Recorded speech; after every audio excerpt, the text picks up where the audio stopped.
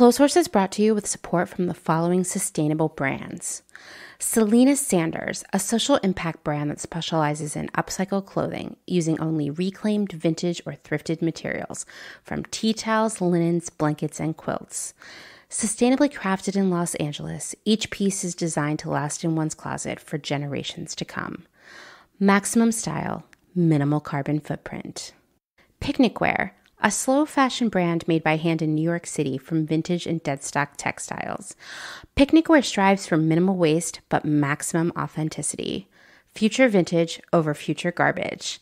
Find Picnic Wear on Instagram at Picnic Wear, and that's where, W E A R, and at www.picnicwear.com.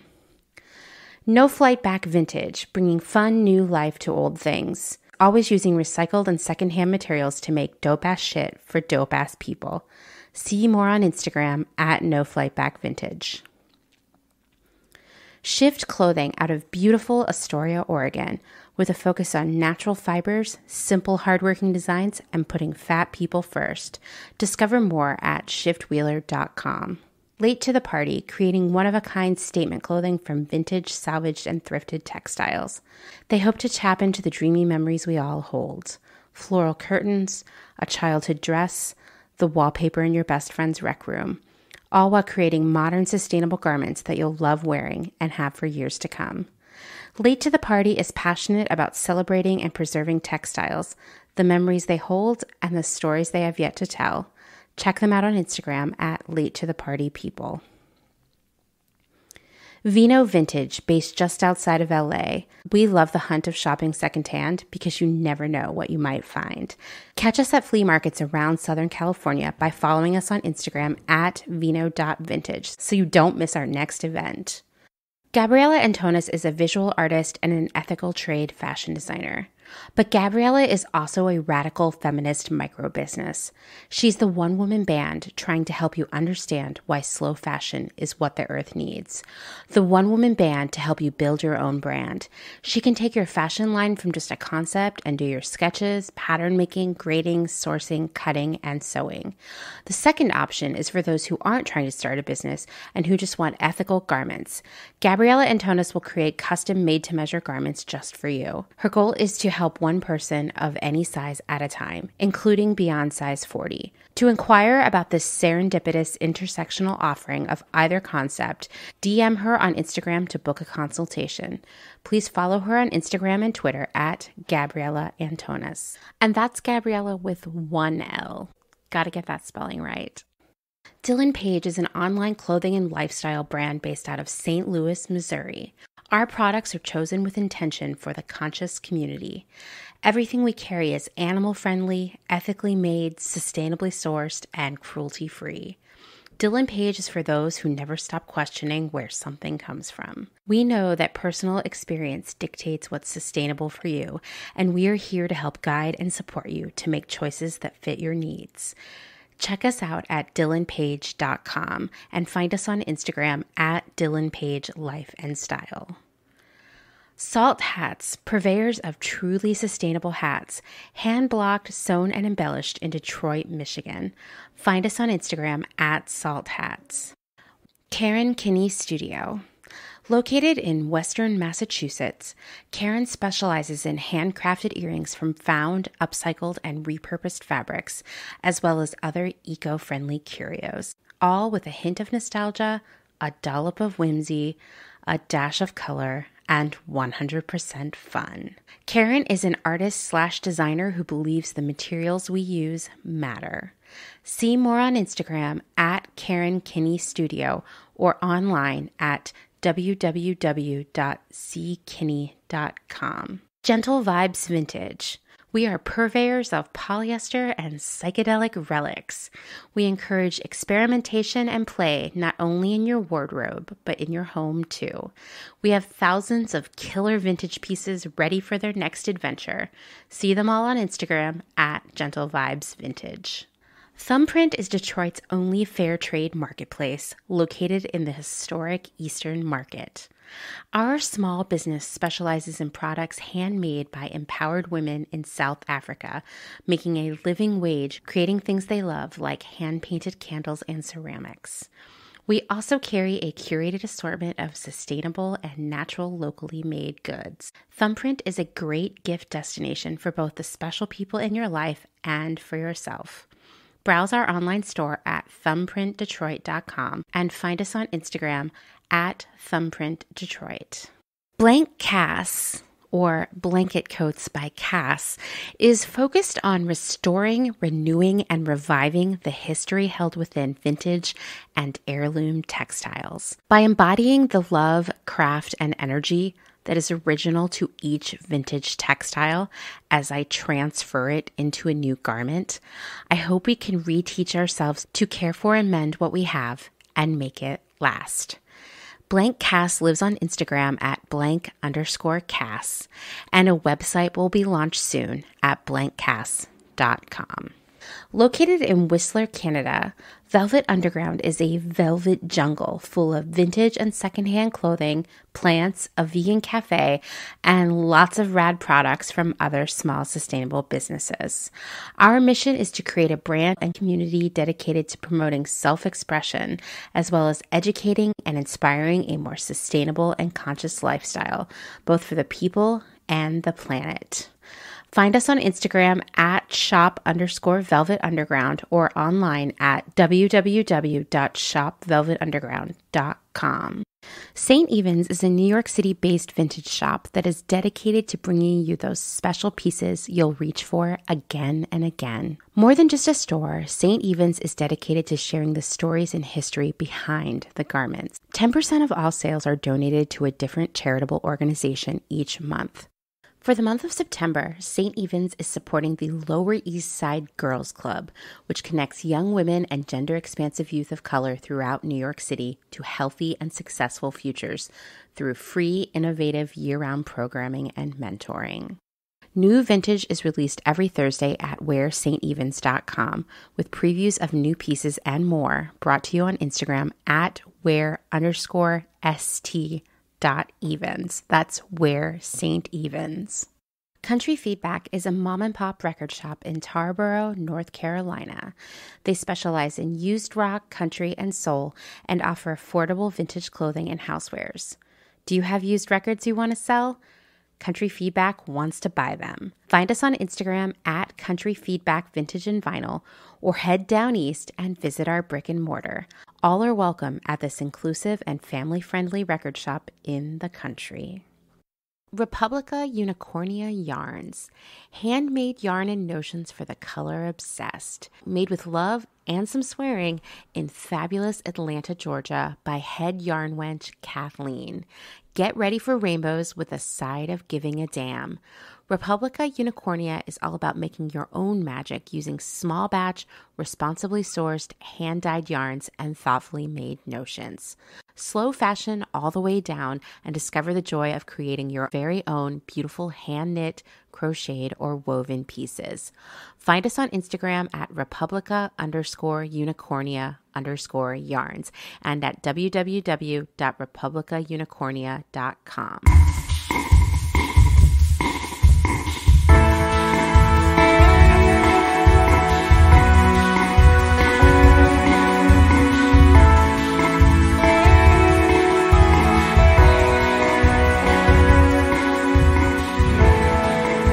Welcome to Clotheshorse, the podcast that wants to normalize cutting open the tube of lotion or toothpaste or eye cream or concealer, whatever it is, and squeezing that last tiny bit of the contents into another vessel so you can get maximum use of everything you buy. I'm doing it. Are you doing it? These are all the things I'm thinking about this month as we talk about how nothing is disposable. And I'm your host, Amanda, and this is episode 97. Today's episode is part of a three part series that will be filling out the rest of September. Once again, September's theme is nothing is disposable. And I am so excited about this group of episodes. I used the word excited so many times as I was writing my script to record this section that I had to go look for synonyms for excited on the internet, and all of them were kind of weird actually. So I apologize in advance for telling you so many times in this episode how excited I am. But these episodes have literally been months in the making. My super special guest is Liz Ricketts, the director of the OR Foundation, a USA and Ghana based not for profit working at the intersection of environmental justice, education, and fashion development. And I am so thrilled. There's a synonym for excited. For all of you to meet her. We we hit it off immediately. I feel like we're old friends now and i feel so honored and so lucky that liz is another amazing person that i've gotten to meet talk with and and learn so much from. Working at clotheshorse has a lot of perks and meeting rad people is the number one perk. Today we're going to be talking about the incredibly unpretty truly disgusting truth about what happens to a vast majority of the clothing that we donate each year that we stuff into trash bags and then dump off into bins that are conveniently placed to make throwing away our stuff as easy as possible. I know that sounds melodramatic, but it's the truth throwaway culture might not seem to be having an impact on you personally, other than that, you know, maybe you feel like you have too much stuff and it's kind of a burden. But the rapid cycle of shop, wear a couple of times or never, and then donate is having a massive negative impact on humans, animals, and the planet. It's just happening out of our line of sight. Liz is here today to put that in our sight, to explain, to share what's happening so we we can see it. Before we jump into my conversation with Liz, let's recap some of the facts that we know about our clothing. The average American buys it depends who you ask, 68 to 70 new garments each year. We're talking brand new stuff, not secondhand, new stuff from the store, tag still on it. You know what I mean. That averages out to about a new item every five or six days. You're probably listening to this and you're saying, yeah, well, I haven't bought new clothes in years. I'm still wearing the same stuff from college, or I exclusively thrift or wear vintage or sew my own clothes. And that is great. We need more of that, right? But that 68 to 70 number is an average. So it means that for every one of us who hasn't bought anything new in the past year, someone else bought 140 new items. That's how averages work, right? Zero plus 140 divided by two gets you to 70. That number is more like something new every two to three days. And of course, there are tons of people out there that land between that average of 70 and 140, but no matter how you slice it, this is a lot of clothing being created, sold, and then discarded. We've talked so much about how our clothes are made and how messed up it is, how unfair, how exploitive, how destructive, how wasteful it is. Today, we're going to talk about what happens on the other end of that cycle. As a reminder, 60% of clothing ends up in the landfill or the incinerator within the same year it was produced when you hear that statistic, you know that a lot of that clothing just isn't being worn very many times, if at all. And we've all We've all done this, right? We've placed a huge order for this vacation or it's summer or, you know, we always feel obligated to buy a whole new wardrobe at the start of every season, which is so weird. You know, it's consumerism. And we've bought all this stuff We've maybe returned some of it. We knew for sure that that was a no. We kept stuff that didn't make us feel our best, that really ended up being not that great when we actually wore it, but it was too late to return it. All of these things. It sits in our closet. We maybe wear it one more time. we reach a point where we just watched a Marie Kondo episode or we're bored at home or we can't find things in our closet, what do we do? We do a closet clean out, right? And ultimately, 85% of that clothing that we dispose of each year, regardless of how many times it's been worn or how much it cost or how we felt when we bought and wore it, 85% of that clothing ends up in a landfill or an incinerator. 85%. Like, definitely a majority there, right? The remaining 15% is donated. And donation's great, right? Because it fills us with a warm and fuzzy feeling. Yes, we overconsumed. We know it at least a little bit. We knew that when we looked at our closet. Yes, we barely wore that thing. And, you know, when we really think about it, it feels a little wasteful. Yes, we got rid of it because, you know, we overconsumed and our closet was bursting with things that we just didn't like that much and we hated the burden of it. We hated the chaos it created. We hated seeing it. But we donated it. So not only do we get the privilege of never thinking about it again, it's gone, it's deleted from our memories. Not only do we get to pretend that we never bought too much and wore it too little, but we also get to feel like we did a good thing by donating it. We get to feel like a hero, a philanthropist. Sounds so fancy, right? As we've talked about here on past episodes, at best, 10% of these clothes are actually sold by the thrift store where we drop them off. Of course, if we didn't drop them off at a thrift store and we used one of those bins that you find in, like, I don't know, a Target parking lot, you know, my laundromat in LA I actually had one right outside the door. Like you could be done doing laundry, look at something and be like, yeah, I'm not into this anymore, and just jam it into the bin on your way out. Those bins that we've like that, that aren't attached to a thrift store or a thrift store name that we know, those clothes are never going to be worn locally. They're going to be sold off for shredding or shipped overseas. But of those clothes that we donated to an actual thrift store, once again, at best, 10% of those clothes are actually sold to another person locally, right? And it's important to say at best there because the statistics for it are all over the place, depending on the thrift store, depending on the volume they're dealing with, the staffing they have, the customer base they have.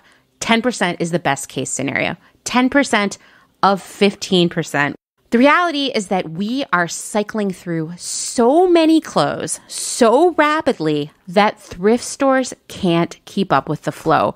When I see people being secretive about where they thrift because they want to keep that spot to themselves, or when I see I see this so often, someone being a jerk on social media about resellers, I want to scream.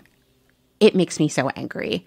I want to scream so loudly. Imagine I'm saying this in all caps, okay? Guess what? There's way more clothing being donated than we can ever possibly wear. So please, don't worry, we're not running out. There's plenty to go around because there is such an excess. And once again, this excess is overwhelming for thrift stores. And that's only 15% of the clothing we're tossing out every year, which is a very low percentage. I mean, imagine getting that grade on a test, handing the paper to your parents to sign, and it says 15% in thick red pen at the top. Guess what? You're grounded. That mere 15% is so overwhelming for thrift stores because it's 15% of a huge number that the vast majority of all the clothes we donate will end up either shredded and used for industrial purposes or sent overseas. It's hard to get a gauge on the full scale of the global secondhand clothing industry because so much of it is conducted informally by individuals.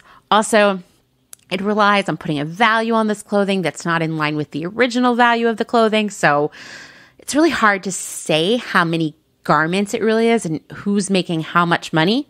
People are getting rich off of it for sure. Plenty of other people are not.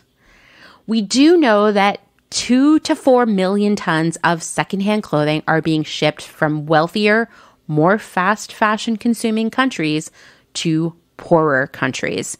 No surprise here that the United States is the biggest exporter of secondhand clothing, followed by the UK. Liz and I are going to touch on this a lot more in our conversation, but this exported clothing is sorted by type, graded by quality, and baled off before it heads across the world. And the better graded used clothing is exported to Central American countries, and the lower graded clothing is shipped to Africa and Asia. The biggest hubs for this commercial sorting, and once again, this is happening all over the place, but the biggest hubs are in South Asia, Canada, Belgium, the Netherlands, and Hungary. My conversation with Liz is going to focus on Ghana and specifically the Kantamanto market in Accra. But I can assure you that this deluge of unwanted clothing is flowing daily into other places as well. This story is repeating itself all over the world every day. This is the delusion of clothing recycling, the delusion of circularity playing out day after day. And this delusion is used by retailers to get us to consume more and more without guilt blissfully unaware of the horrible repercussions of yet another Office 5KT that we only wore once because we had to for a photo and we never looked at it again, or that dress we wore to one wedding because of course you have to have a different dress for every wedding. All of that stuff we are being encouraged to buy and use with the delusion that it will be turned into something else somewhere down the road. The great news I have for you in the midst of all this bad news I just gave you is that after listening to my conversations with Liz and her team over the next few episodes, you will no longer be deluded. I'm definitely not. I'm angry right now, but I'm going through all the phases of grief. None of us will be deluded anymore. And this, I promise you, is how real change begins. It's by hearing the facts, learning the truth, seeing what's really going on. So let's just jump right in.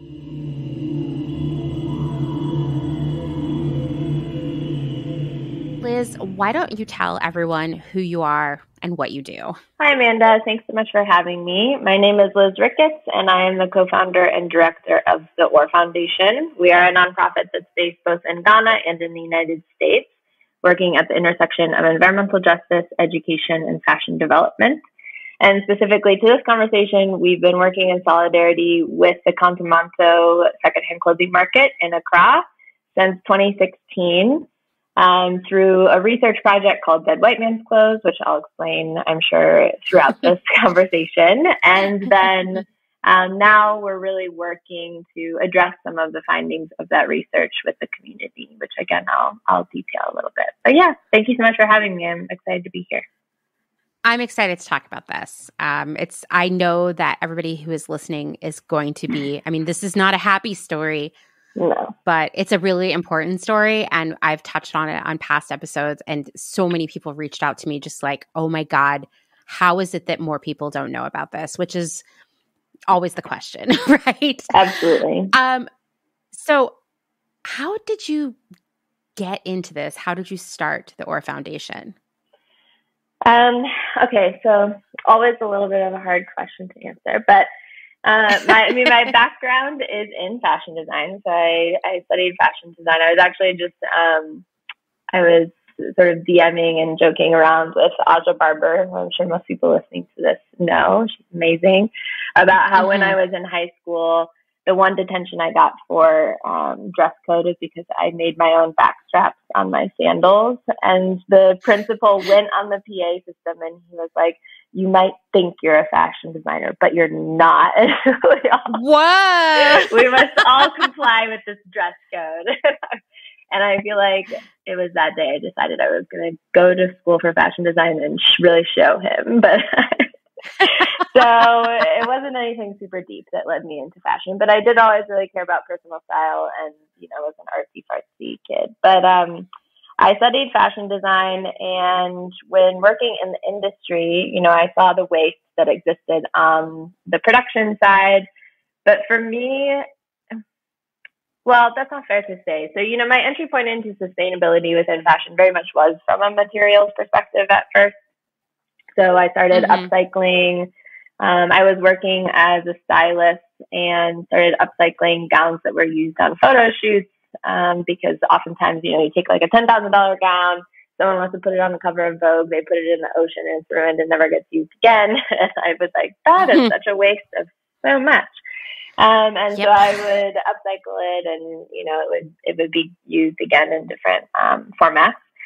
And you know, it was it was a very rewarding entry point into sustain- sustainability, and made a lot of sense um, for my skill set and, and things that I cared about. But during that time, this was like 2005 to 2010.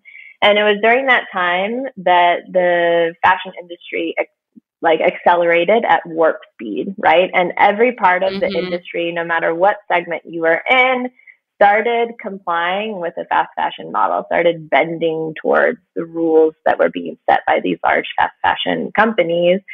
And I saw the impact that that had directly within my community of designers and creatives, where people were turning to substance and alcohol abuse and just the very unhealthy, toxic work environments were taken to a completely new level.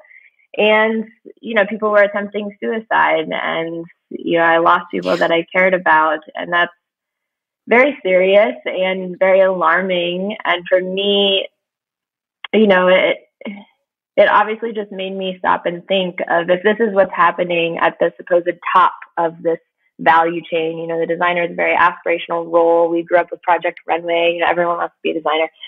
If that's what's happening there, because of this shift towards you know fast fashion and consumerism and this in this sort of separation from creativity and the commodity of clothing, then what in the world is happening throughout the rest of the value chain? And so I started doing a lot of work, you know, trying to understand what was happening from, you know, field to shirt got really involved in politics around um, the cotton industry and garment worker rights. But there was always this one question that I really couldn't find any answers to, which was what happens to our clothes when we're done with them? Like, we're obviously buying more than we can possibly wear. I have a closet just like everyone else, and there's a lot of clothing in it, way, way mm-hmm. more than I could possibly make use of.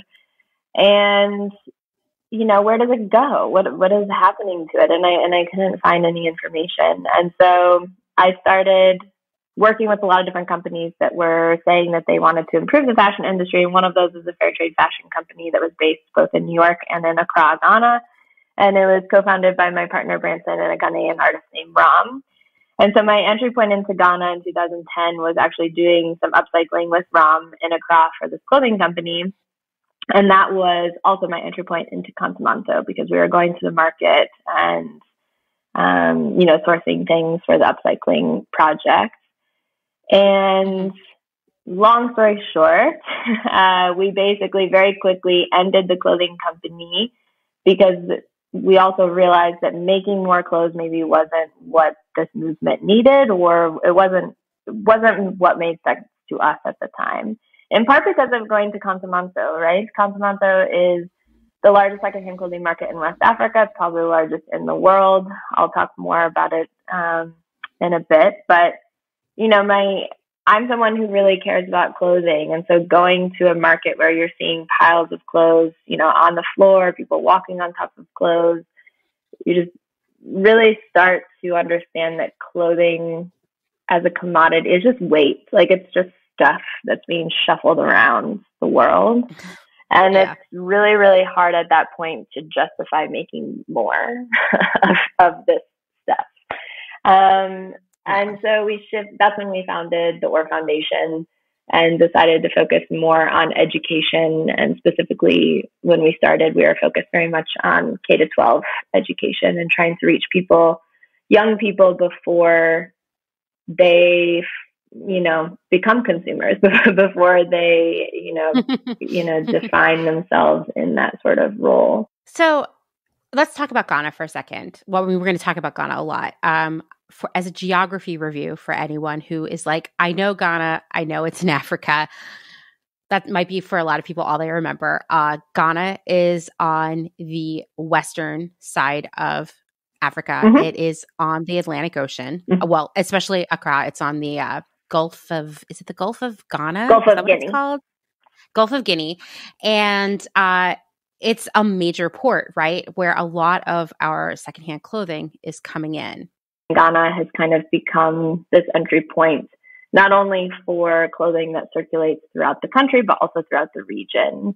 Um, so even if you know imports are illegal in surrounding countries, it travels over land borders um, once it makes its way to Ghana. So let's talk about being on the ground there at the market. How much clothing is coming in there? So, in terms of how much clothing is coming in, we focus specifically on Kantamanto market because it's the pit stop again for clothing that's coming that is redistributed throughout the country and then also throughout the region. And so, Kantamanto sees 15 million garments a week. And the population of Ghana is just over, um, it's around 32 million people now. And so that's a lot of clothing. and it's definitely too much clothing. And it's coming from all over the place, right? It's coming from the United States, the UK, Netherlands, Germany, Canada, and then also Korea are um, the main countries that are exporting. But it's really important for people to understand that clothing the secondhand clothing trade is a supply chain that's very opaque to most of it is and it's a very complicated supply chain. So just like there's subcontracting, you know, in the first-hand supply chain, you hear about that all the time um, with factories, you know, subcontracting to other factories, and then when there's a disaster, that's why the brands say they're not responsible because they didn't actually contract with the subcontractors, right? My fave, yeah. my fave excuse, yeah. yeah. and um, so it's similar um, in the sense that clothing. So if you're in the United States listening to this, you might donate your clothing in the United States, but chances are those garments will make their way to another country, possibly multiple countries, before they would make their way to somewhere like Ghana or somewhere else in the global south. Um, a lot of the clothing in the United States is sent to Canada for sorting and export. And then in Europe, um, different countries have different sort of specialities in what they do. And so, you know, a lot of clothing from France or Spain, for instance, might be collected there. And there might be like a pre sort where they're sorting out some of the outright trash. But then most of it will go to, again, like the Netherlands or Germany to really be sorted into categories and ultimately exported to the global south or to wherever its destination is. So, I mean, what is it like to be there? Because I'm trying to imagine a day when 15 million garments arrive. like, first off, I can't even envision that. Um, it must be just containers upon containers. It is. I mean, so first of all, the day um, starts very early. So the containers typically, so containers come into the country. They come into the port of Tema every day of the week. Um, but there's a specific day when they enter Kantamanto. They all enter Kantamanto on Thursdays. Thursdays is a market day for importers. And so all okay. the containers come in on the same day and get unloaded on the same day and sold to retailers on the same day. So Thursday is like a there's a very specific vibe in the market and it's, it's a very intense sort of energy. Um, and it's I mean people start unloading their containers in the dark. Like if you really want to be there and like understand the process, you have to be there at like two a.m. Um, because that's when oh, they start wow. unloading the containers into the shops, and they'll have you know a lot of times just using their phones as flashlights, and also there's you know sometimes people are bringing in containers but don't want to pay, you know, the tax or something to the association. So they try to all unload, unload everything in the dark um, before it's laid out so that they, their container can't be counted. There's some of that going on, but, um, classic. Yes. yes. But yeah, there's, I mean, container after, because I'm always astonished when I see taxis like trying to drive through this part of town um, in general, but certainly through Kantamanto because they actually try to drive through, and I'm like, you're literally going to be here for the entire day. Like you cannot move. like there's just piles. You know, if you get there, like typically I don't go at 2 a.m. I've been a couple times, but typically I would go at like five or six. And even by then, you have people who've actually already set up to sell. And so you have these containers and like these big trucks, and then you have piles of like bras and underwear. And the truck literally can't move because if it moved, it would run over like the piles of bra and underwear that are just like being sold right next to it. Um, so it's, I mean, you know, it, it depends on your tolerance for for that kind of stuff. But for me, I it's a really beautiful energy. Like it can feel really hectic and overwhelming sometimes, but there is I mean it's very organized. You know, I think if if you first enter, maybe it's hard to gather what's going on. Um, but it's very organized. You know, it's the same group of people that show up every Thursday to unload. And yeah, the bales get um, sometimes people have pre-bought bales if they're like regular customers. So that's mostly the retailers who have stalls in the market. They always buy the same type of bale. So so just to clarify for listeners, like bales are defined by two categories. So one is the type of garment, so ladies tops, men's suits, etc. And then the other is the country of export. and the country of mm. export has a specific value assigned to it, um, which I would say is both real and not so real. so, like the bales from the UK are the most expensive because they're considered the highest quality, um, which huh. it, some people will tell you is because they have the least amount of trash in them. But from our research, it's actually the same amount of trash. It's so there is a little bit like of actual trash. Yeah, actual like trash, actual garbage. Yeah, yeah, yeah. oh like my gosh, bags or you know, or even just like a garment that's not supposed to be in there, like a boot gets thrown into like a t-shirt bale or something like that. Mm-hmm. Um, but there's also like a cachet that is related to colonialism, right? And like related to this mm-hmm. legacy of white supremacy, where like the UK still carries this you know, it just still carries this weight of of idealism and people and like desire, even though I don't think desire is the real wor- right word. It's very manufactured desire. Um, and so that also plays into, you know, why they're priced higher. But um, what was I saying? Okay, so the bales are unloaded and mm-hmm. yeah, all of a sudden like retailers, anyone who's purchased a bale is you know, lining up basically to um, to get their items. And they also hire women who are called kaye. Um, it's a term that means she who carries the burden. And they're female head porters who transport these bales to and from the importers to the retailers, and then also just you know work throughout the market transporting the goods around. And these bales weigh 120 to 200 pounds each.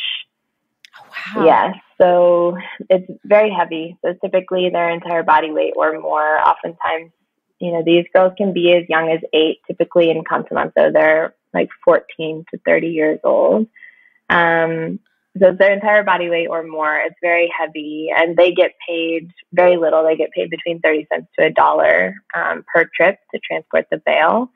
And so on Thursdays, when the clothing is coming in, like you really have to be conscientious you know, because like these bales are physically being moved while people are shopping or, you know, while you're visiting, mm-hmm. while you're working and, and they do fall and you also just like really want to be considerate of the kaye working and make sure you're not stalling them because when they're walking through with the bales on their heads, the, mo- the most painful thing for them is to stop, right? Like they have to keep moving. Mm, yeah. And yeah, um, maybe we can talk more about the kaye in a little bit, but yeah, the energy is very, um, it's very intense, right? And I would say each day has a very specific energy.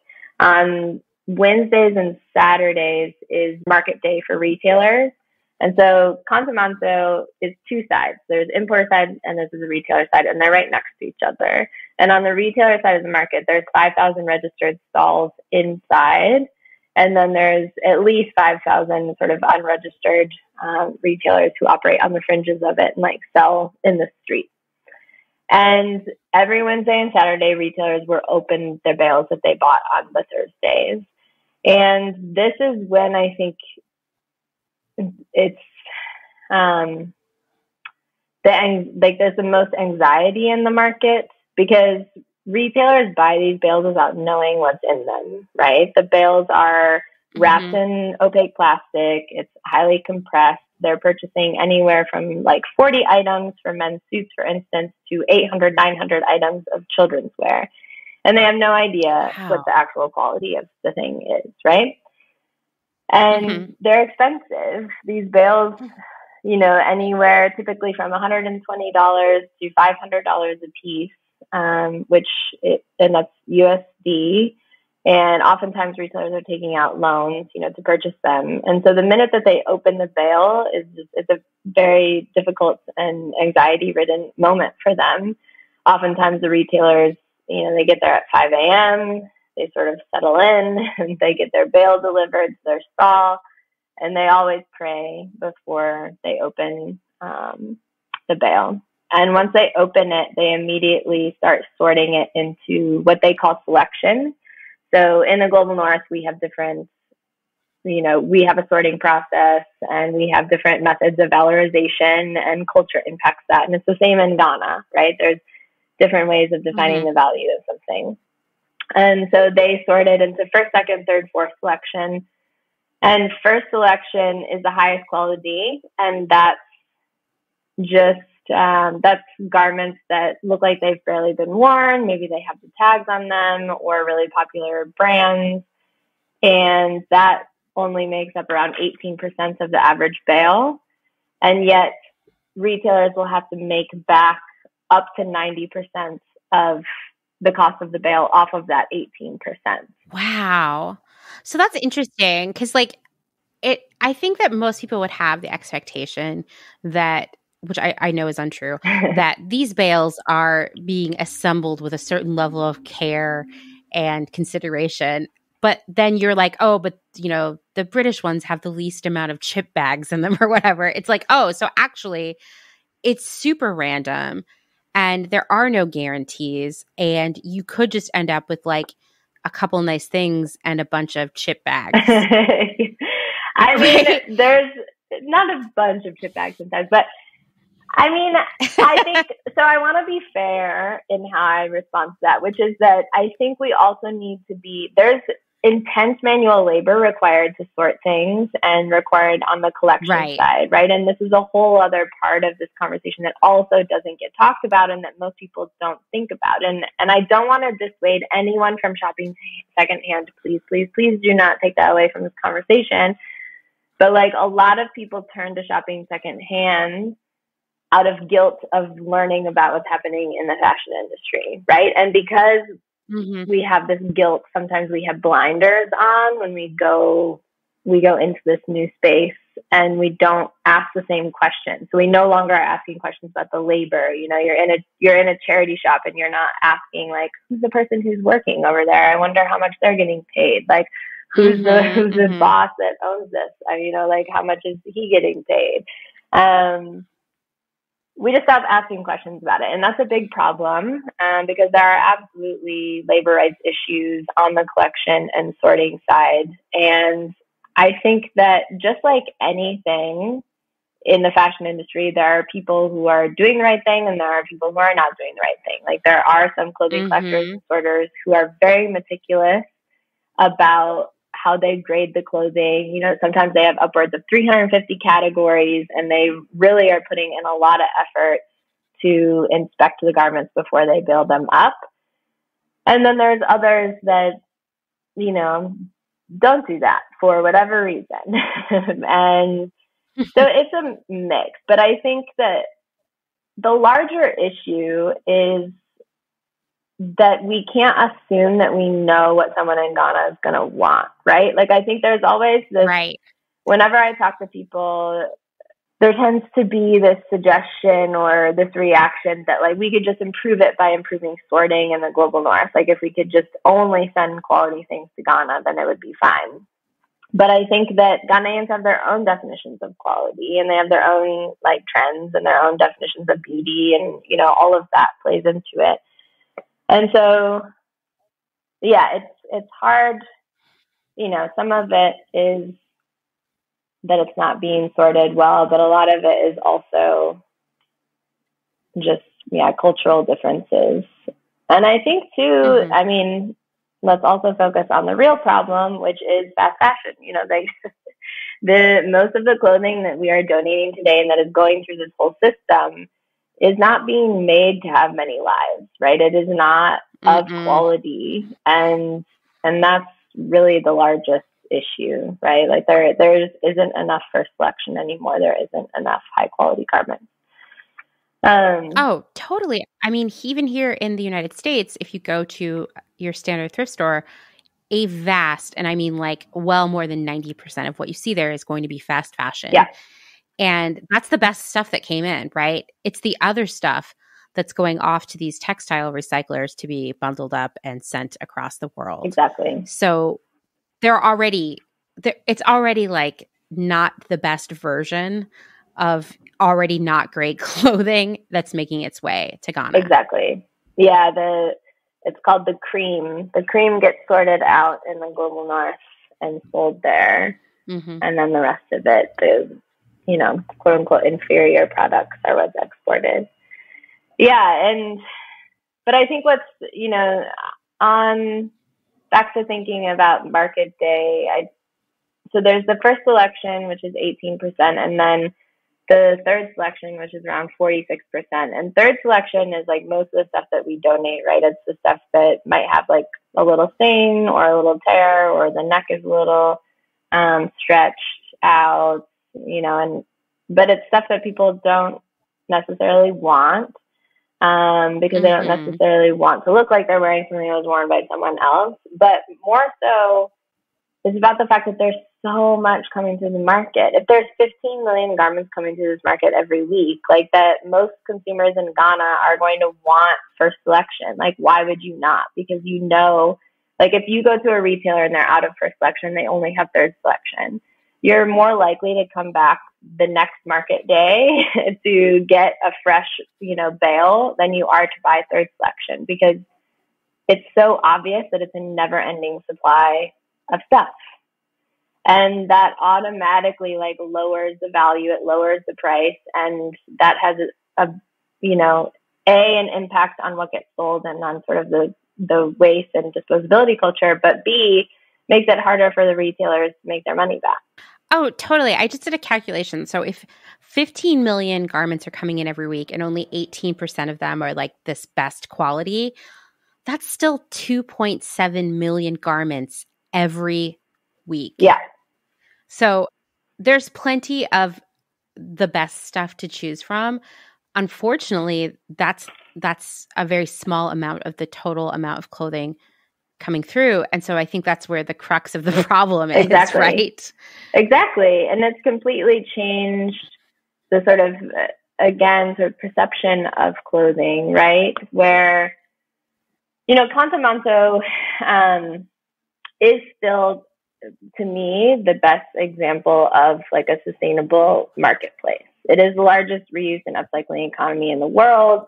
Most people going to Kantamanto aren't going expecting to find, you know, a garment right in their size exactly as they want. People are looking for material to customize, and in Kantamanto, you have basically the equivalent of multiple garment factories and um, you have, you know, people cleaning clothes. You have people clipping threads, resizing clothes, like you have tailors that can customize something however you want, dyers, screen printers, cobblers, like everything that you need for a sustainable or, you know, circular system. Um, I mean, that part is amazing. Yeah. I wish we had that. I wish we had it too. North. We don't. And but a lot of it also comes from like a deeper relationship with clothing. You know, most Ghanaians, like our team members, right, they've grown up taking cloth to a local tailor, having things tailor made, and co designing their clothes with the tailor. So there's this, you know, most people can sew in Ghana. Certainly, most people can mend their own clothes. But there's also this relationship with clothing where, you know, everyone is comfortable on, with textiles. Like everyone understands how to talk about textiles. Everyone understands fit. Like everyone has a certain comfort level with construction of a garment and has a very good sense of what quality construction looks like. And so all of that, you have that this culture and this mindset that people are coming into the market and shopping with. And then you also have the skill set in the market that enables all of that. And it's absolutely beautiful. But what is so tragic is that because there's so much excess just literally flooding this market, of course, it's teaching people that clothing is disposable. It's changing that uh, mindset. It's priming people, yeah. You know, for fast fashion consumption. Because that's what we're saying to them, right? Like, like we're literally dumping our clothes on them. We're dumping cheap things that aren't well made, and and you you know, if you see that around you all the time and you see this market with this never ending like flow of products, of course you're going to start to change the way you think of fashion. And that's to me, yeah, the scariest part, honestly, and a very important thing for people to pay attention to because I find that that's the biggest argument people use. Um, being when they're pro like secondhand clothing exports is that they'll say you know it's good that we're sending our clothes to ghana because it will stop companies like h&m from coming to ghana and like it's, it's actually the opposite that it's actually it's truly the opposite because first of all most of the garments that are coming to ghana are h&m and similar brands and so you're creating brand familiarity but then you're also priming people to think of clothing as a cheap commodity that is disposable. And so now you do have more people in Ghana that are craving fast fashion. You have ASOS like targeting them with massive ads like all the time. And these brands are coming there now. Honestly, if if if it's still hard for someone who's hearing this to believe that being just exposed to a constant flood of cheap clothing makes you devalue clothing and want more clothing. I mean, that's what's happened to all of us. Exactly. I definitely remember a time in my life where I had very little clothing and what I had was all extremely valuable to me. And then there was a shift where, I mean, I remember the first time I went to a Forever 21 and came out with a whole bag of clothing and spent like 50 bucks and was like, I can't believe I just got eight garments or something for $50. This is crazy. And at first it was very novel and then it became just the status quo yeah. that like of course if you were doing something this weekend you would go buy a new outfit just for that and you know it didn't matter if you never wore it again or someone spilled a beer all over you or the zipper started to break because you spent such a little money for it and it filled us with this delusion of disposability yeah. that these clothes could just go away and they don't i have been more and more using this noun which is the delusion of clothing recycling, right? Because that's what we're talking about right now. Lots of retailers are selling us, some more than others, this delusion that when we're done with our clothes, if we give them to them or we donate them, that they're somehow being turned into new clothes or they're all definitely being worn by another person. I mean, take a step back and think about that. If it's fast fashion stuff that when you bought it, you knew you were only going to wear a couple of times, what actual wear and value is left in that now? Exactly. Yeah, I remember when we first talked, we were talking about yeah, changing greenwashing to delusion washing. what yes. it is. Washing us. I mean, delusion. but there's so it much, is. It's just this compounding cognitive dissonance, right? I mean, sometimes for me, it's so fascinating when people like most people drop off their clothing in a garbage bag, right? Like if they're donating clothing to a local yeah. charity, they literally put it in a garbage bag. A lot of times don't wash it and they drop it off with no real attention to the people who are there to sort it and hang it up and handle it. And most people who drop off clothing and donate don't buy from the same places that they donate to, which is part of the problem, right? Like if we're always mm-hmm. offloading mm-hmm. the old and buying new, then yeah, that doesn't make for a very good, good circular system, does it? Um, but yeah, but yeah. then at the same yeah. time, it's like you're dropping stuff off in a garbage bag, but then in your mind, you're think because you've been told this over and over again, you're thinking that you're like literally saving someone's life with this garment. Yeah, no, it's true. It sounds like so dramatic, but it's true. That is what people have been taught. Yeah, that you are just you are doing this like amazing good deed. I always think back to include have you ever seen Clueless? Yes. Okay. So at the end of Clueless, you know, we have this whole like redemption arc, and um, why am I blanking on the Cher, the main character? She is doing this like f- collection of you know donated stuff for people who I I don't know people who lost their homes. There was a fire, an earthquake. Mm-hmm. I don't mm-hmm. remember, and like people are donating skis and bongs and things like that. And they're like, you know, it's filling them with these good vibes. And it's like, actually, what these people need are probably like kitchen utensils and a place to live and bedding yeah. and, you know, like and just coat. money. Yeah. And most importantly, they money. just need money. Yeah. And instead, we're like giving so them bongs exactly and skis. Yeah. Yeah. And it's like, uh, I feel like that's where we are with donation. You know, as you were talking yeah. about I mean, something I had not even, I mean, I knew this, but like I hadn't really thought about it, was that most of the people who are donating are not the people who are shopping secondhand. And so once again, we go back to this delusion of circularity that a lot of retailers are trying to sell us. If that were real, the people who are like, you know, sharing the secondhand clothes, whether they're donating or selling or whatever, would be a part of a circle, right? And they would also be the customers exactly. at some point. But really, in most cases, we're just looking at a line, a line yep. that is buy, dispose, buy some more, dispose, and just keeps going on into infinity, but it never connects back into a circle at any point. Exactly. And I would love, I haven't seen any data around this. I would love to see what percentage of people who donate clothes are also like thrift shoppers because I feel like it would be a, a huge gap you know and i know there are people who are listening sure. who are like i do both and that's great but that is not the vast majority at all yeah it's a specific audience that's finding this yeah yeah exactly podcast. exactly and it's not to i mean i'm yeah i don't want to be too critical because again i think it's there's so many myths that have been fed to people, right? Even just like the idea of the deficit myth. Like, there's literally this idea that we have been taught in the global north that there's too much stuff in the global north, but that's okay because there's not enough stuff in the global south. And so all we have to do is move the stuff, right? Like that is something that we have actually been taught.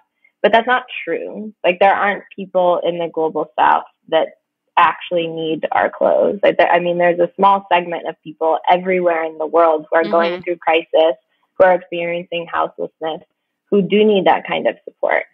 But it's not in the way that it has been marketed to people with, you know, the stereotypical image of like a kid without shoes in, uh, you know, in some nameless African country that's been put on some clothing bin.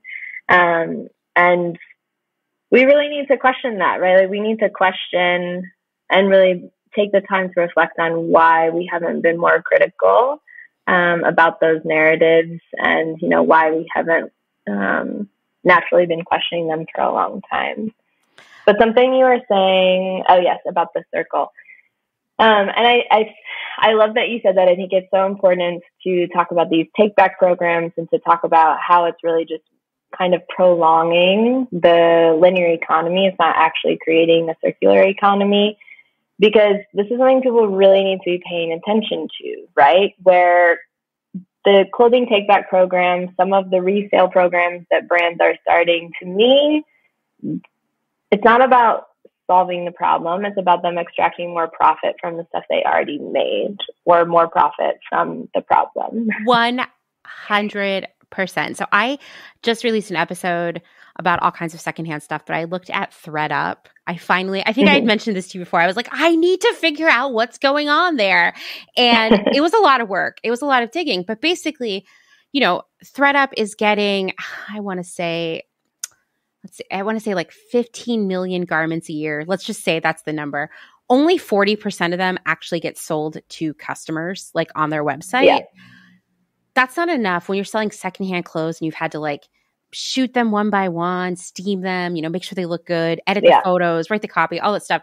That's a very low profit game. So, how is ThredUp? I want to say they made $128 million in profit last year in a year that was really bad for retailers. Uh, how are they making all that money? Well, it's because they are extracting every bit of profit they can get out of the other stuff that you gave them that they're never going to sell on their website. So yeah. they're selling this stuff off much in the same way H&M would when you bring in their clothes your clothes and get that like what is it like a 10% discount? I don't even know.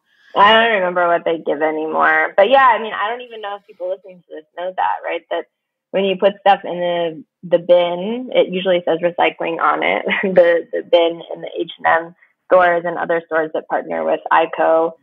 Um, most people think that that's being recycled by H&M like back into their products.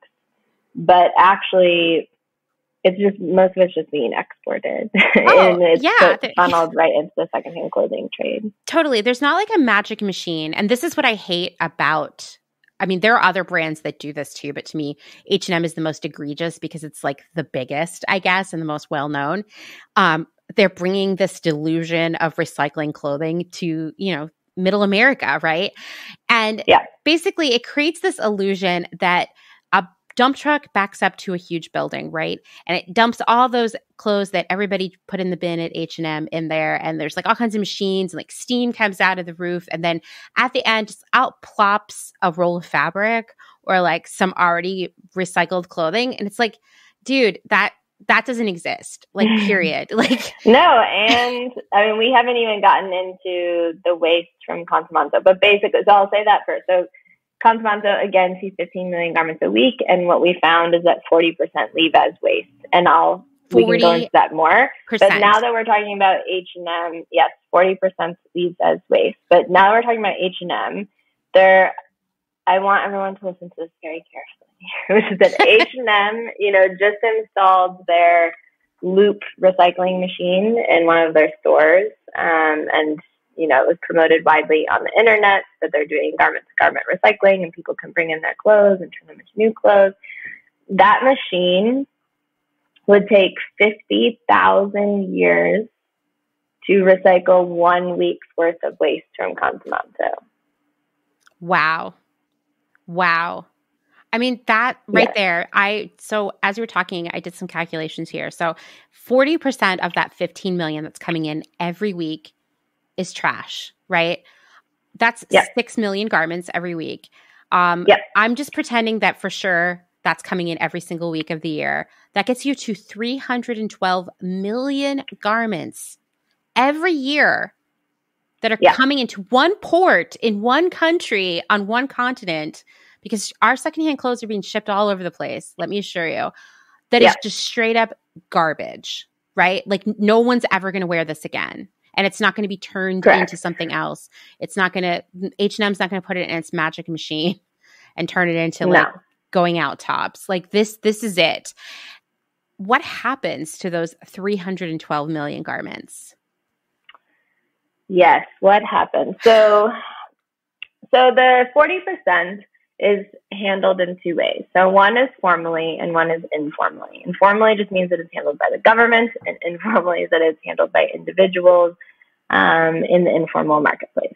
So formally, well, first of all, let's also focus on the fact that Kantamanto is the largest consolidated point of waste for all of Accra and possibly for all of Ghana, wow. which is very profound when you consider that that's you know, clothing that's coming from other countries.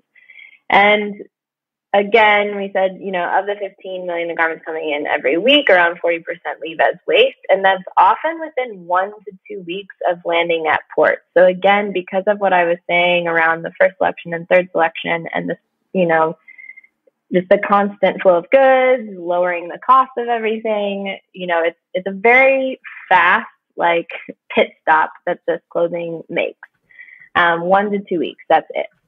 And so the local government, the Accra Metropolitan Assembly, was picking up 70 tons of clothing waste every single day from Kantamanto, and they were trucking it to a sanitary landfill called Kpone, um, which you know, coincidentally, is very near the um, harbor where the clothing comes in.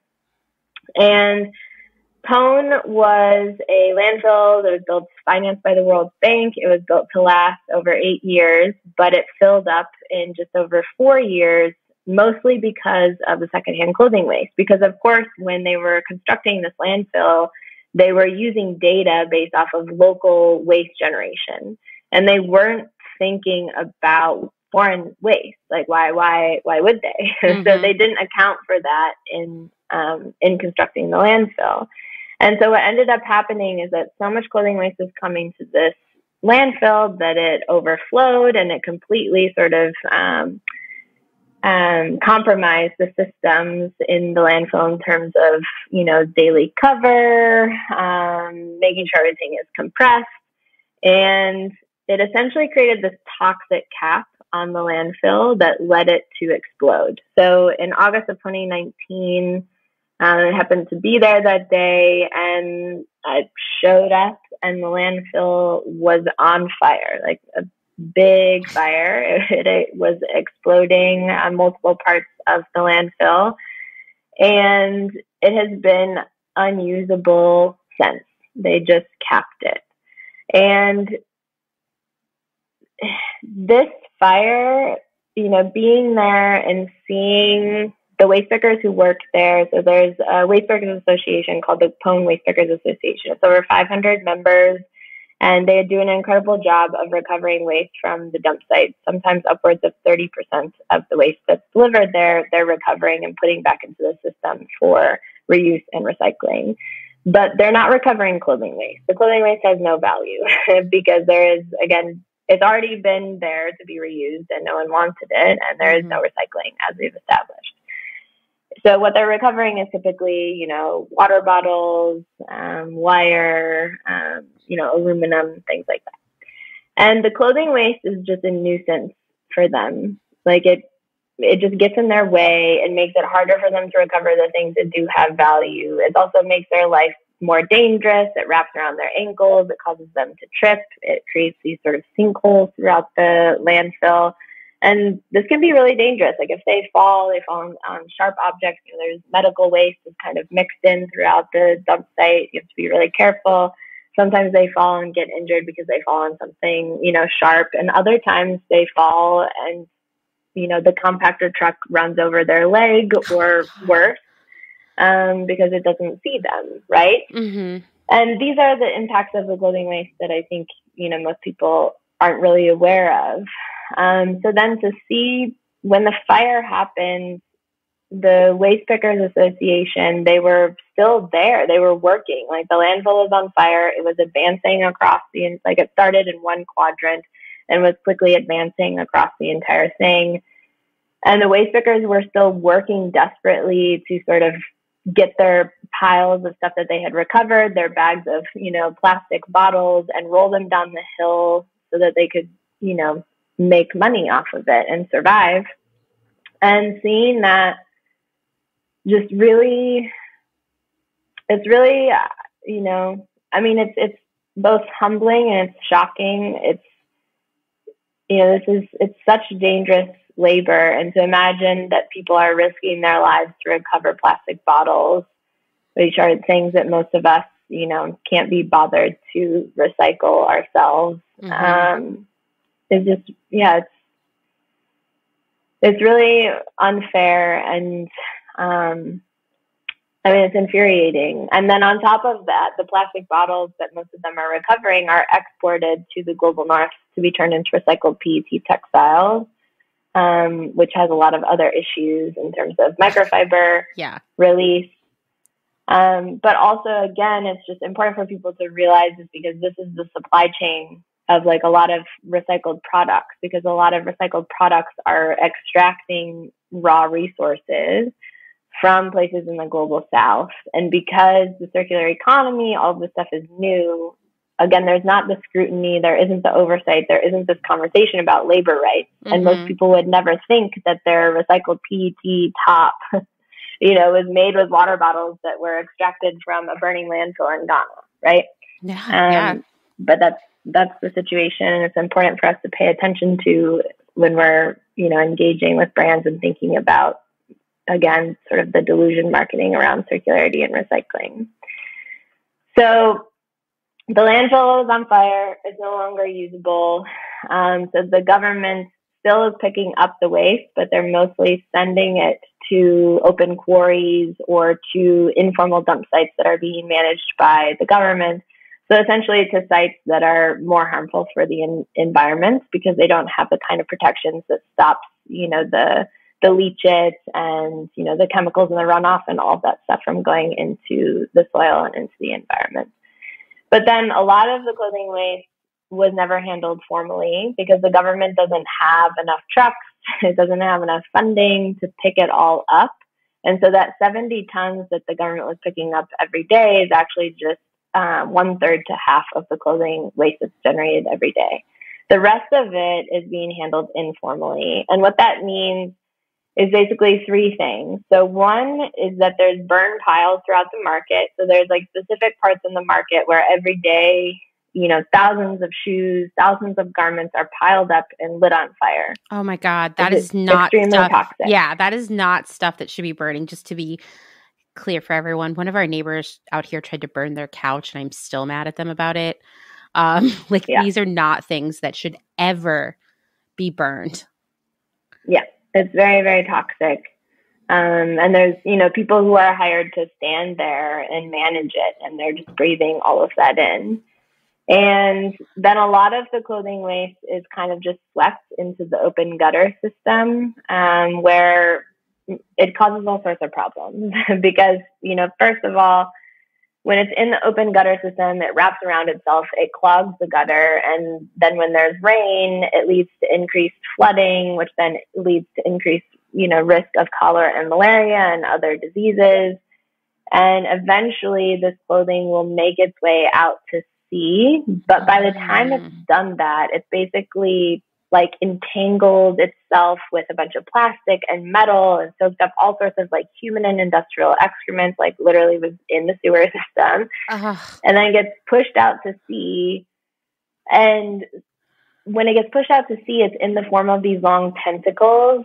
So, I mean, we call them tentacles, but to me, what they look like and how they move. But basically, they can be anywhere from you know, typically eight feet to 30 feet long, typically three feet in diameter.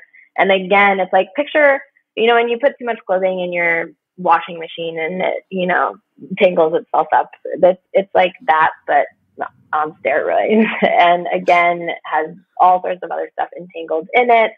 And, you know, parts of the clothing have decomposed, but other parts are still there. And it's just these wild objects that really have a mind of their own. So they go back and forth like with the current and they cause all sorts of problems for fishermen because they get caught in their motors. Um, they weigh down their nets. We were talking to a fisherman a couple months ago who almost capsized because one of these tentacles like got tangled at the bottom of his net and he physically couldn't pull it back up, right? And all of this makes their job more dangerous. These are mostly the fisher, the fishing communities we work with are mostly, um, well, they all are artisanal canoe fishing um, communities. So very sustainable, um, but it's already one of the most dangerous jobs in the world. And what this means is that they have to go further out to sea because the clothing has destroyed the marine ecosystem that they relied on for fish. But then also because again, these sort of tentacles are literally like running into their boats and, and threatening their livelihood. So they have to go further out to sea, which again makes their job even more dangerous. But eventually, a lot of this clothing washes up on sea, and you know we're talking millions of garments. And the the local community, you know, they clean their own beaches, they'll pick it up, but then there's nowhere for it to go, so it just gets burned. And during holidays is really when you can get a sense of how much clothing it is because people are on holiday, so they're not cleaning the beach every day. And, you know, after just four days, it's just, I mean, the entire beach is covered in mounds of clothing, and you end up with this like clothing soup in the water. Oh. It's terrifying. And then the only thing that we can assume, you know, we don't know for sure, but a lot of these clothing tentacles appear to be sinking to the bottom of the ocean. Like it would make no sense that they're not. you know, they're mm. very heavy, they get pushed out to sea. And so we really believe, believe that like what we're able to document on the shore is, is a tiny fraction of what's sitting on the seafloor. And that's very terrifying. Um, and then a lot of the clothing waste also goes to informal settlements. So near Kantamanto, there's um, a few different communities. We work with one um, in an informal settlement called Old Fadama, um, where it's around 80,000 to 160,000 people. It's a migratory population. And a lot of the clothing waste is picked up by individuals, carried, you know, on their heads or transported on a small trolley to these dump sites that are typically right along the waterway. Um, there's a lagoon right there. And there was this dump site, um, well, there is this dump site that we work at frequently. And when we first started working there, it was around 30 feet tall and 60% clothing waste. But in the last year, since I've been back, um, I would say it's at least 50 feet tall, probably 60 feet and still, you know, 60% clothing waste. Like it's really the clothing waste that's kind of holding the whole thing together. And it's growing so much that they have to burn one face of the dump site um, because it's the only way, you know, to make more space to put more trash. And this, the informal dumping is to me the most violent aspect of it because this waste because it's dumped in communities where you know some of the most vulnerable citizens in Ghana live. Um, mm-hmm. It's very easy for that to then be blamed on those people, right? And and this mm-hmm. waste is in their backyards. It's where their children play. It's where their cattle graze. It's you know this is not waste that they created. It is waste that they have to figure out how to survive and how to live with. But still, you know, it is used basically um, to further disenfranchise them, to blame them for creating the problem. And then that's used politically to dispossess them of their land, to literally bulldoze their homes.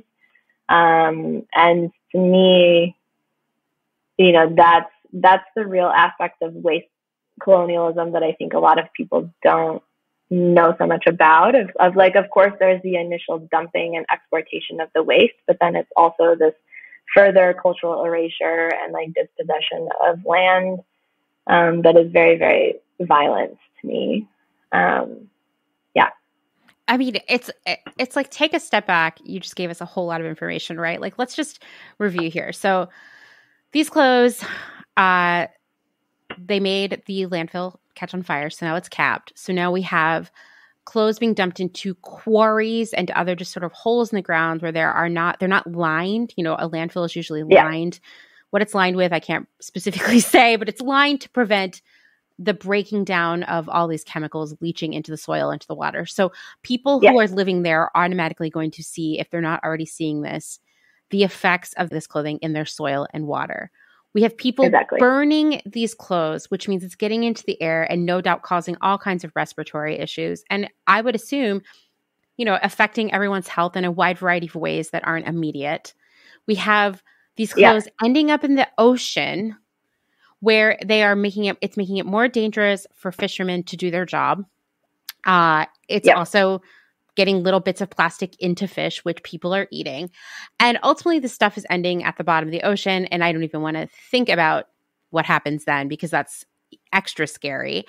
And then also, just like we're looking at piles of garbage that are four or five stories tall, just clothes, just out there, you know? And I, if you if though if if envisioning all of that doesn't make you see the repercussions that fast fashion and as it is right now and even these like delusions of circularity that were being sold i don't know what will because for the people of ghana and so many other countries around the world our trash is making them sick.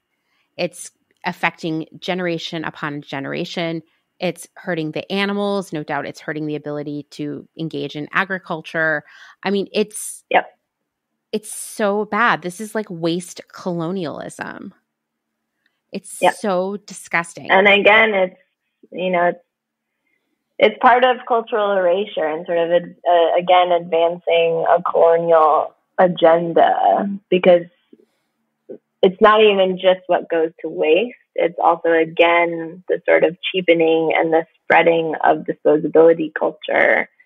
And you know, half of our team are designers, and I know you're going to speak with them more in depth about this, but you know, local designers cannot compete with this industry and no you know way. the the clothing is basically free and and so it's completely upending it's upending anything um, sort of traditional um, and replacing it with stuff from outside and it's yeah it's i mean it's very violent uh, and i know it's overwhelming for people to hear it, it is it is but i but i think it's very essential for us to face right i mean the first time i learned about all of this it was definitely like I I need to take a moment, right? I mean, I worked in the industry for a really long time. I was a part of the machine that created a lot of this stuff. And yet I will tell you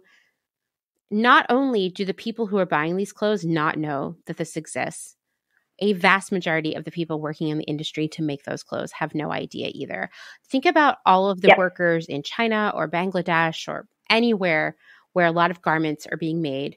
These people are working under oppressive conditions, being paid little to nothing, facing all kinds of abuse. All of this blood and sweat and sacrifice going to make these shitty clothes that end up making tentacles in the ocean. I mean, that is that is the least yeah. cute, least stylish thing I've ever heard. And I think it's really important for us to always take a step back and and see that that like maybe what we think is so cute or you know going to make us look so good on Instagram is kind of ugly not even kind of yeah. is ugly you know and i think it's very ugly. that's another really you touched on something else that is really important to remind everyone here is that we're not doing anyone any favors by sending our fast fashion clothes to say ghana where previously people actually made designed and sewed and tailored clothing it was an industry that no longer exists there and so now the jobs that you can do there to support your family are like collecting bottles or carrying heavy bundles of clothing on your head through the market. I mean, like this is destroying an entire society. Yeah. Yeah, it's tur- I mean, it's turning more of the world into a corporate colony. Yeah, well, I mean, that's dark, but but true, right? Right? Like it's, it's weird because it is because true. like I, you know, I every once in a while someone will reach out and be like, "Listen, I'd really wanted to listen to your podcast, but I'm like tired of hearing about it. I'm tired of hearing about fast fashion. Like, I don't want to feel bad about what I'm buying.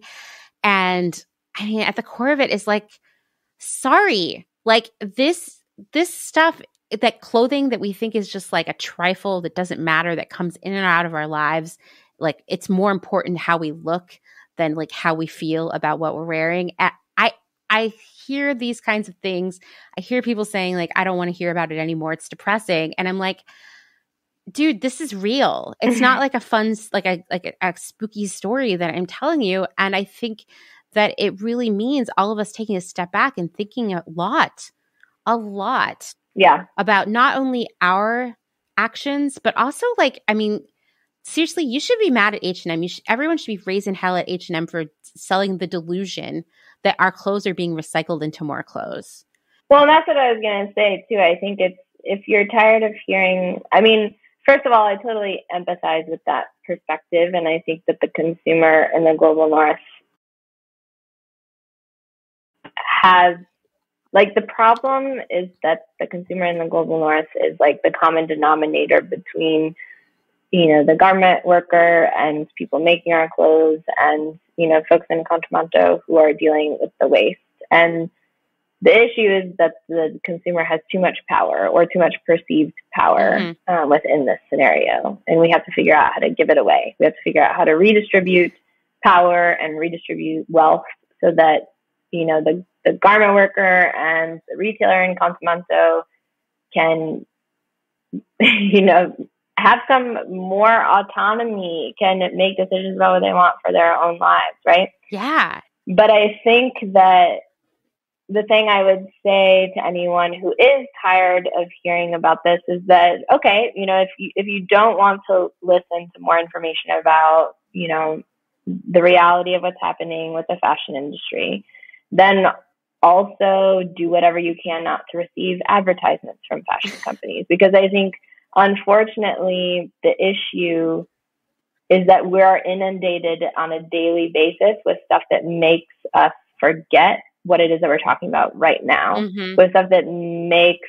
us comfortable and you know makes us feel like it's not that big of a deal i'll just buy this thing yeah and yeah. so if we're going to turn off you know the the sort of darker conversations then we also need to turn off we also need to put a put a literal plug in you know, the marketing and the things that are telling us that it's okay to keep consuming. And that's just really hard to do. And I, I do, to, again, like I totally empathize, but unfortunately, I feel like we need to keep talking about it because we have this, you know, other people with massive marketing budgets that are making themselves heard in our lives every single day in ways that we aren't even fully conscious of a lot of times. Absolutely. And so if we don't remind ourselves what's going on, then we get carried away into the delusion ourselves. Exactly. Exactly. Because there is, we're hearing a lot more noise that continue that like perpetuates the illusion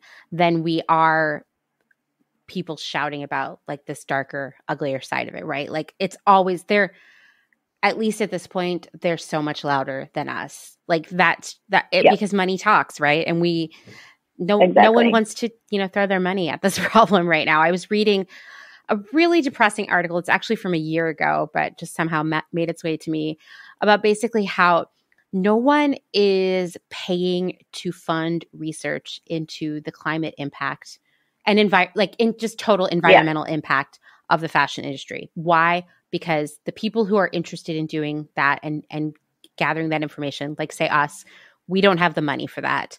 The people who do have exactly. the money to fund research that they're interested in are h&m and nike and zara. And so they are putting their money into things that they can kind of spin to work for them. And so like when you look at say an h&m conscious collection and you start to read some of their claims I mean, they have they have they have supported the research that makes claims that using exactly. polyester is better for the planet. They like there yep. has been sketchy data around that. Well, and when they fund people, they have like very specific contracts. Exactly, exactly. Negative around it. So basically, like there's data being collected on the fashion industry solely for using greenwashing, basically. And so, like even the statistics that you might hear from me or you know remake or any of the other players out there in sustainability or you know shouting about human rights and the planet and its relationship to the stuff we buy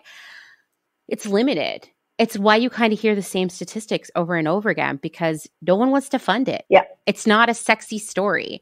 I mean you know you could go way down the rabbit hole but even like when we think about like you know illnesses and conditions that get a lot of medical research thrown at them, it's always because there's like a cash grab at the end of it. You know what I mean? Like yeah. there'll be a drug that like a pharmaceutical company can make a fortune off of. And unfortunately, there's no one who makes a dollar off of telling us that we're buying too much stuff. You know, like it's, it's exactly. not it's not a cute story. The polyester thing is something that's really been on my mind lately because uh, there was just a report that came out actually, I think last week, uh, by Changing Markets, I believe. Uh, yeah, yeah, yeah, And it was basically like a vast majority of the environmental conscious sustainability claims that the biggest retailers are making is greenwashing and i don't think that surprises yeah. you or me but a big chunk of that greenwashing is actually around polyester and recycled polyester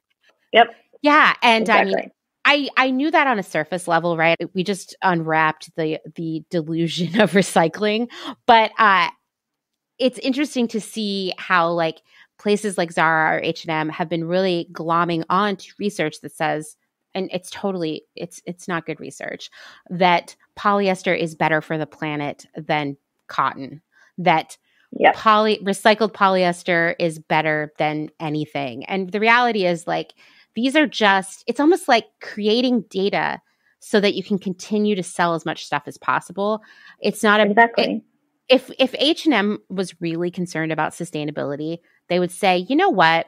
We're going to make clothes that last longer. They're going to be more expensive, but you're going to get years and years and wear out of them. We're going to have repair workshops in our stores. We're going to pay living wages to all of our workers. We're going to encourage you to buy less clothing. We're going to show you how to style it to make it more relevant. We're never going to send you an email that says you need a new dress for every wedding you went to this summer Yep. or have you thought about doing some retail therapy, you know? Exactly. They would stop talking about it as if it's a human right. Like stop talking about convenience as if it's a human right or even personal expression as a human right. I mean, you know, I love style as much as the next person, but like we really need to we need to take a step back and remember that like yes, clothing ourselves is a necessity, like protecting our physical being from the elements, but like fashion is not actually a necessity. and No. no. we are we continue to treat it as if it is and like come up with all of these layers of justification um to yeah continue making and selling more and more and more and more and more stuff but access to convenience being able to get whatever you want whenever you want is actually not a human right like it's it is not I know, I know. I'm laughing because us I've definitely heard they people really say made people exactly otherwise. that.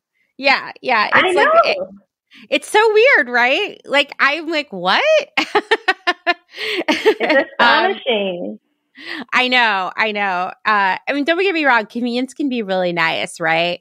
Like it's nice when you Yeah. can just open your refrigerator and dinner's already w- there, and you just have to heat it up. That's very convenient, right? yeah, but that's it's- dinner. Yeah, I know. It's not like clothes Food arriving is at your door every day. human need. Yeah, yeah.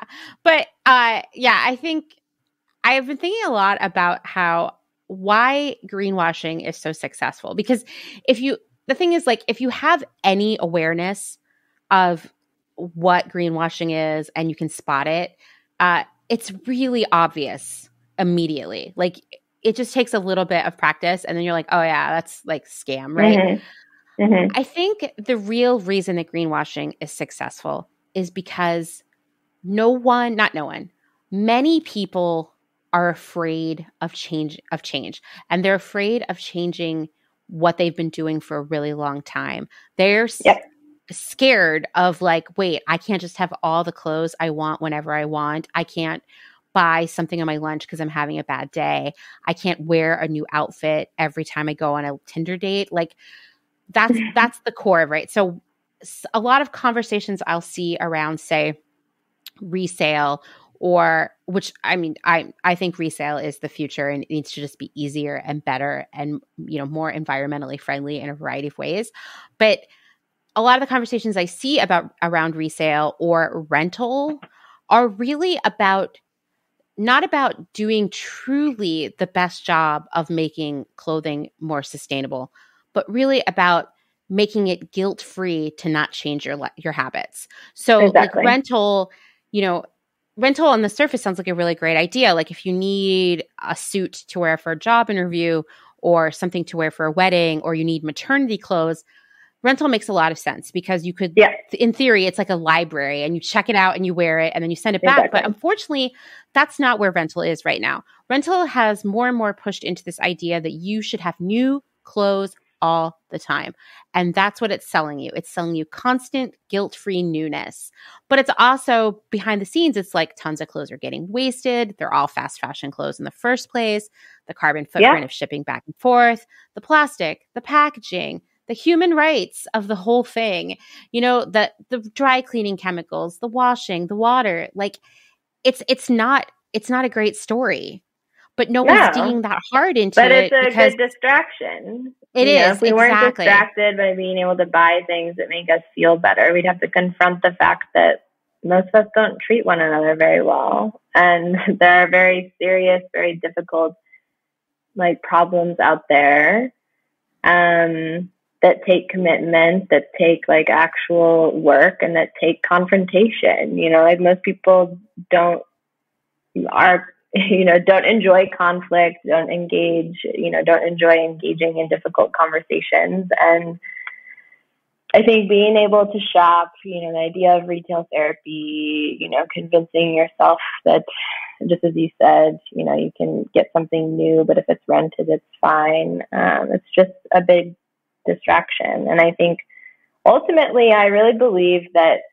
we're not so f- afraid of destruction and you know tragedy and all of those sort of horrible things i think that we're deeply afraid of what we're capable of. I think we are deeply afraid of what we are capable of if we decide to trust one another if we decide to you know choose community over competition.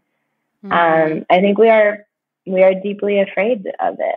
And i think that stops a lot of us from making like true you know making changes in our life that are truly holistic and oh. revolutionary. Oh, absolutely. Absolutely. And I think it leads to just this sense of like, well, I give up because mm-hmm. it's too big for me to confront.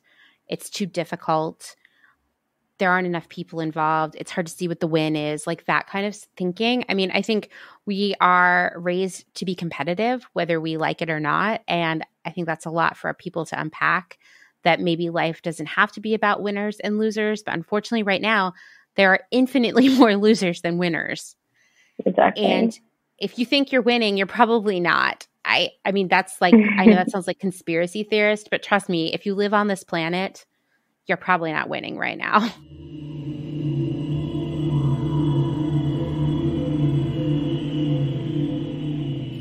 Can I just say how excited I am to continue this conversation with Liz?